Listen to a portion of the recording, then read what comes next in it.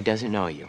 He doesn't care about who you really are. In fact, he has no idea that every day of third grade you shared your lunch with that little skinny squirrel who kept getting his nuts stolen by that fat squirrel. I hated that mean squirrel. And none of those guys were there when you had to read your poem aloud in class and your hand was shaking because you were nervous and you cared what the other kids thought. Poem? What poem? I wish I was a mermaid. You remember that? That was like sixth grade. I wish I was a mermaid and was friends with all the fish, a shiny tail, and seashells. Huh? I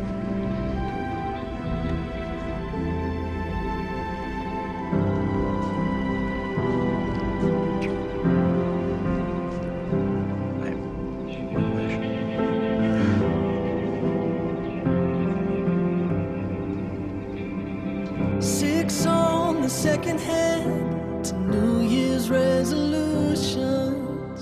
And there's just no question. So I'm asking, in the presence of this coffee cart and the sacred moment that it Take all the represents, lost, if you can honestly tell me that you don't love me me. I took and give it back I don't love you anymore.